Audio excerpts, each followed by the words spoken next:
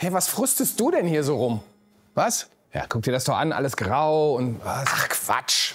Ist doch alles.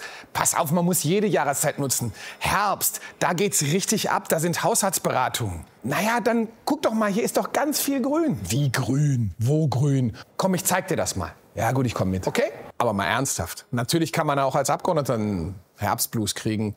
Aber dagegen hilft auch ein bisschen Grün. Nicht politisch jetzt gemeint, sondern sowas wie hier beim Ausschuss für Ernährung und Landwirtschaft wo hier mitten in einem grauen Gebäude Pflanzen ein wenig die Lebensqualität erhöhen. Und wenn man auch, und das ist das Schöne, finde ich, an den Gebäuden des Deutschen Bundestages in der Transparenz, man kann nicht nur sehen, was die Politik macht, sondern man kann dann auch mal in Richtung des Kanzleramtes gucken, sieht die Bäume, sieht die Begrünung des Kanzleramtes. Und das macht es auch schon mal ein bisschen leichter.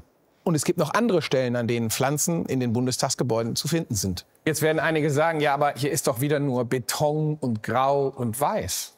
Aber eigentlich geht es um diese vier Blumentöpfe. Blumentöpfe ja.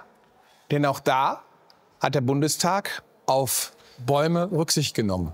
Und so sieht das dann von oben aus. Und so sorgt man dafür, dass es eben nicht nur die grauen Straßen gibt, sondern auch grün. Auch wenn das jetzt herbstlich gold, rot oder wie auch immer wird. Und es gibt dieses Kunstwerk, das berühmte Der Bevölkerung. Übrigens ist hier mit der Aua, Brombeere eine meiner Lieblingspflanzen.